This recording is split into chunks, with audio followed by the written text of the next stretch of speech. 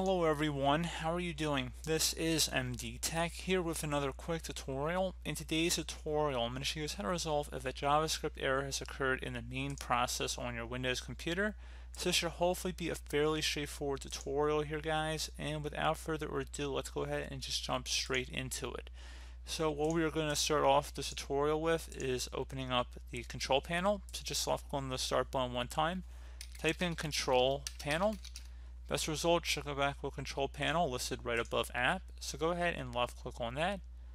Select the view by option and select large icons. Then select programs and features.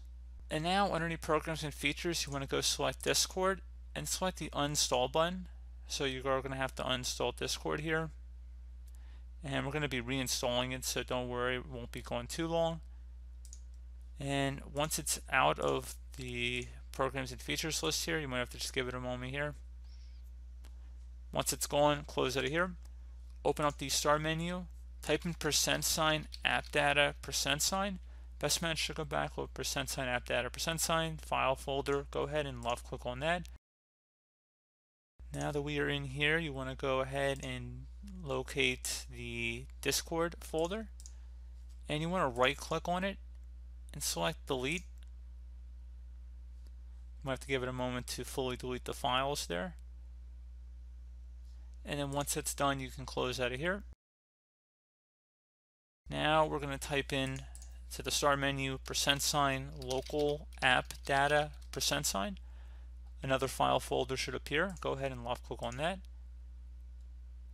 And now again, there should be a Discord folder in here. Right click on it and select delete. Might take a moment to delete. Once you're done with that, close it there. And then we're going to go back to the start menu again, type in services. Best result should go back with services listed right above app. So go ahead and left click on that. Now you want to go ahead and locate the service that says quality Windows audio video experience. So scroll down to the queues there. So start to the queue. So quality Windows audio video experience. Double click on that and now you want to go set startup type to automatic. And if service status is stopped you want to select the start button. And once you're done with that select apply and OK close it here. You will need to restart your computer. And once your computer has restarted you can go download Discord again. So let's just go ahead and restart our computer here just so we show the full tutorial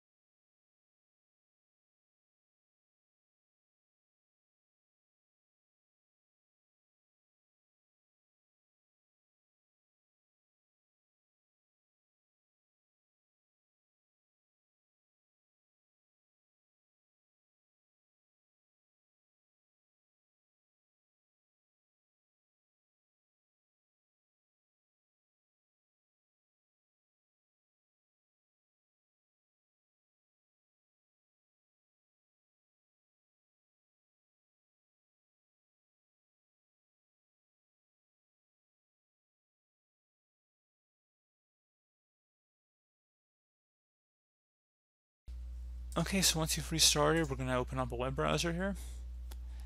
It doesn't matter which one, we're going to open up Google Chrome. Uh, you can open up whatever you want, and into Google you want to go just search up Discord, and just search for that.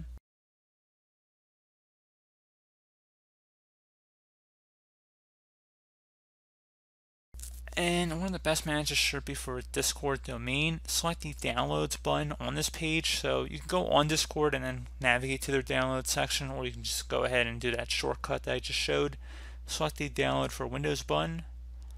It'll take a couple minutes or a couple seconds to download depending on your internet speed. It should be pretty quick here in our case.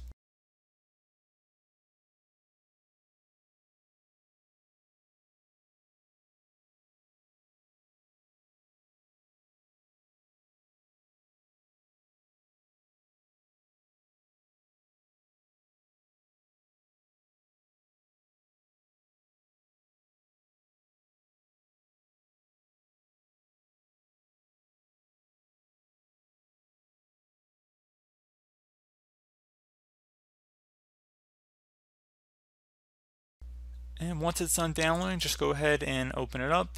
We're going to go and select run.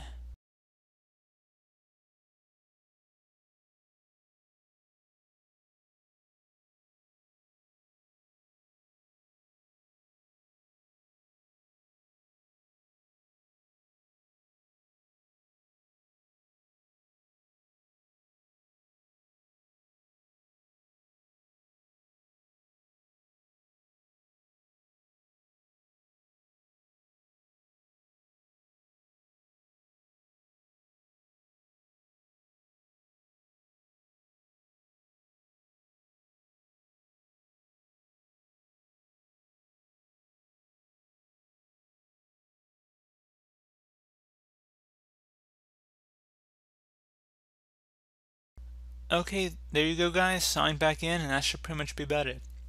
So as always, thank you guys for watching this brief tutorial. Do hope I was able to help you out and I do look forward to catching you all in the next tutorial. Goodbye.